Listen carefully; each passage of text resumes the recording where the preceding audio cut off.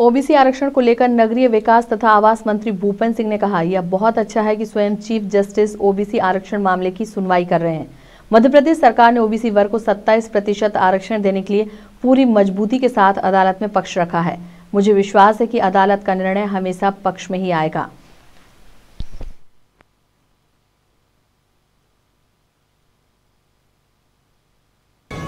Chief justice स्वयं OBC के आरक्षण की सुनवाई कर रहे हैं और हम लोगों ने सरकार ने पूरी मजबूती के साथ पक्ष रखा है और हम लोगों को विश्वास है कि सरकार के पक्ष में निर्णय आएगा और इसको कानूनी रूप से और मजबूती तरीके, मज़बूत उससे हम लोग रख सकें। और हमारी सरकार ने जिन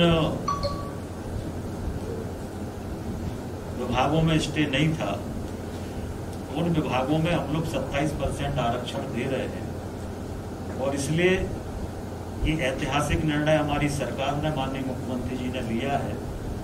और जिन विभागों का स्टे नहीं है, उन पर सब पे हम 27 परसेंट आरक्षण दे रहे हैं। और कोर्ट ने भी उस पर अभी तक रोक नहीं लगाई।